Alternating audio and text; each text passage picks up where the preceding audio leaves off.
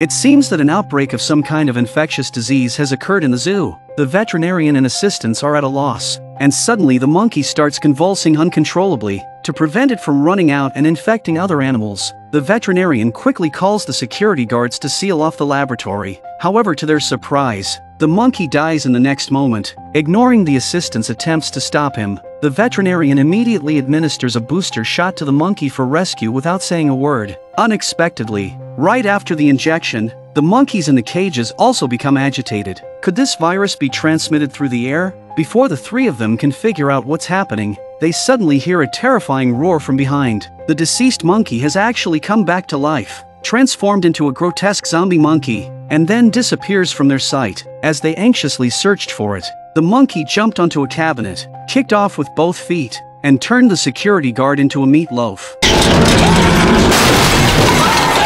The female assistant is terrified and in a panic state, trying to leave the laboratory, but the veterinarian wants to capture the monkey for research. Unexpectedly, at that moment, the mutated monkey jumped directly onto the female assistant's head and plucked both of her eyes. In that moment, the veterinarian finally realized the gravity of the situation and, in the final moment of being attacked, triggered the alarm. Upon receiving the message, the zoo's security personnel quickly arrived at the veterinarian's location. As they reached the entrance of the laboratory, they were startled by a pair of bloodied hands. Upon closer inspection, they discovered that it was the veterinarian. However, when the security guard prepared to open the door for rescue, the veterinarian inside firmly blocked the door as if preventing them from entering, but the team didn't understand the veterinarian's intentions and forcefully broke down the door to enter. The scene before them made their hearts skip a beat. Bloodied handprints were everywhere on the walls, and the monkeys in the cages had escaped. Thea approached to check the veterinarian's condition, but the veterinarian kept repeating the same phrase from his mouth,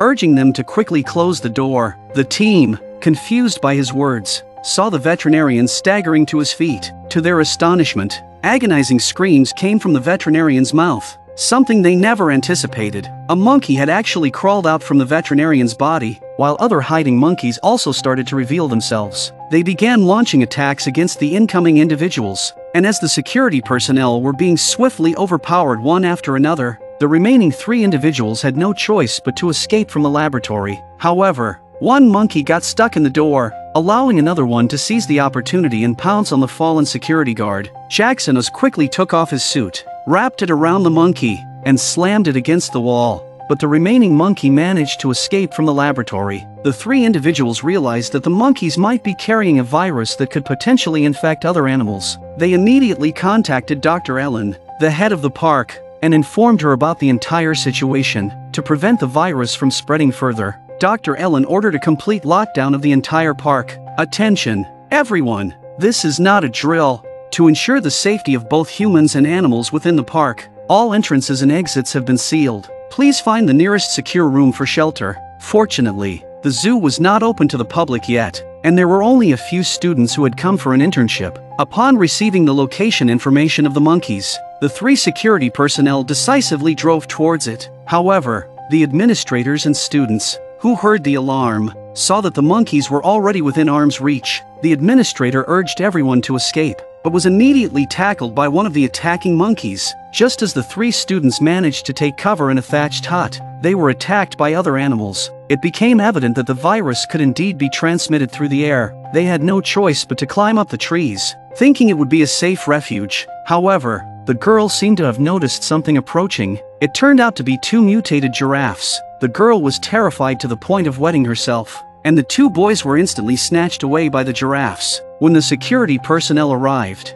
the two men had already been dismembered. They immediately opened fire without hesitation. One of the giraffes was instantly brought down, but the other one lifted the girl off the ground. Fortunately, at a critical moment, Thea aimed for its head and saved the girl, just as they were about to leave. To their surprise, the giraffe revived. In an attempt to save the girl, Jackson Oz was bitten on the arm. Thea quickly shot and killed the giraffe again. However, while they were attending to Jackson Oz's wound, the girl took the opportunity to steal their car. Encountering such a troublesome situation is truly unfortunate, especially since their heavy weapons and radios were in the vehicle. Meanwhile, the girl had arrived at the entrance gate in the car, unaware that it had already been sealed off. In a moment of desperation, the girl could only seek help from Dr. Ellen through the surveillance system, asking her to let her out. However, Dr. Ellen saw something approaching the girl and urgently told her to drive away from there, but the girl insisted on climbing out through the gate, unaware of something pouncing on her from behind. It turned out to be a mutated lion, and the girl was dragged away by it. Dr. Ellen in the surveillance room hadn't recovered yet, witnessed another zombie animal approaching. She turned around and realized her daughter was missing, only to find out that her daughter had entered the toy room. She also noticed a lifelike koala toy, and as she approached to confirm, the koala suddenly came to life.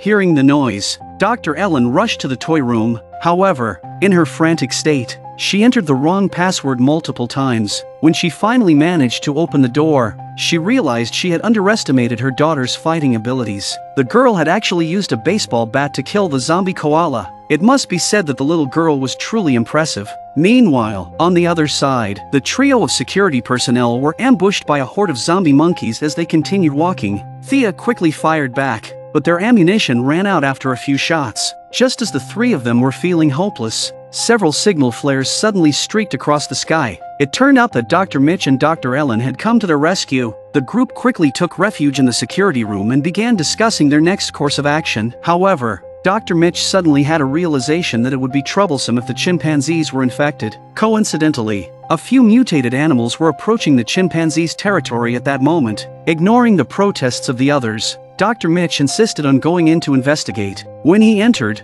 he indeed found that the chimpanzees had already been infected by the virus. Before Dr. Mitch could react, he was struck with a punch and thrown back into the security room. Seeing this, the others scrambled to take cover, helplessly witnessing Dr. Mitch being brutally beaten to death. The infected chimpanzee seemed reluctant to leave and began searching for the remaining individuals inside the room. To buy time for the others to escape, security guard decided to confront and hold off the chimpanzee. But in the next second, the chimpanzee spotted Jackson Oz and the other person. In a critical moment, security guard leaped forward and plunged a 40-meter-long sword into the chimpanzee's back. Seizing the opportunity, the two trapped individuals managed to break free. Security guard urged them to leave quickly, as he knew he wouldn't hold on much longer. Just as the three of them took their first steps away, the chimpanzee shook off security guard, crushing his head instantly. Seeing the chimpanzee chasing after them again, the three of them swiftly climbed up a fake mountain. They pushed down a large rock,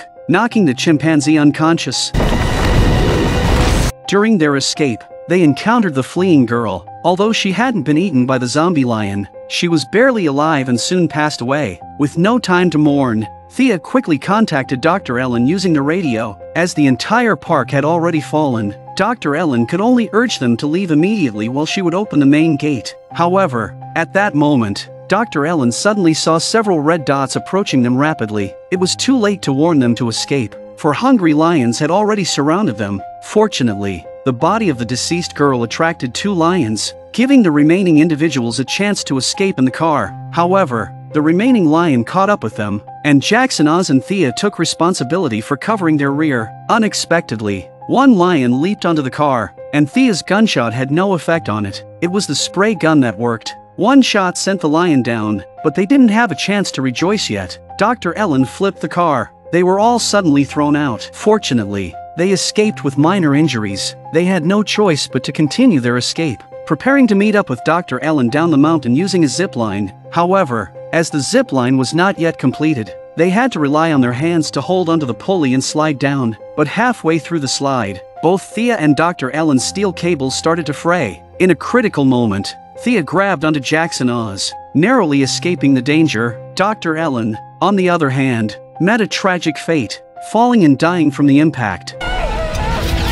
Once the two of them safely arrived, they quickly followed Dr. Ellen, who had been waiting for them, into the building, seeing the entire screen filled with red dots. Dr. Ellen had no intention of giving up and escaping at that moment. They brought the remaining few people to the underground basement and loaded all the flammable materials onto the car. Then they drove to the aviary section because the consequences would be unimaginable if the infected birds broke free from their cages. But when Thea and Jackson Oz entered the birdcage, they discovered that the administrator inside was already dead. Dr. Ellen, who was waiting outside, also saw through the screen that the birdcage was being damaged. It turned out that the infected zombie birds were trying to escape. Upon seeing this, Dr. Ellen quickly got out of the car, grabbed a bucket of flammable material, and poured it on the ground, preparing to use fire to stop the zombie birds from escaping. As the raging fire was ignited, Jackson, Oz, and Thea managed to escape from the birdcage as well. However, just as they were preparing to drive away, they realized that the ordeal was not over yet. The zombie birds were about to break through the windows.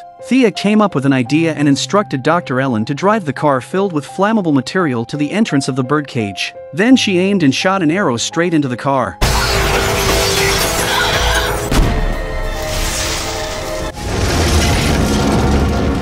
After a loud explosion, all the birds were obliterated, but just as they were about to leave, they discovered that the zombie chimpanzee was still alive. Facing this terrifying creature, they had no choice but to make a desperate escape. They were chased all the way to the park's main gate. Jackson, Oz, and Thea, who were covering their retreat, were instantly knocked down by the pursuing chimpanzee. Even Dr. Ellen was struck down with a single blow.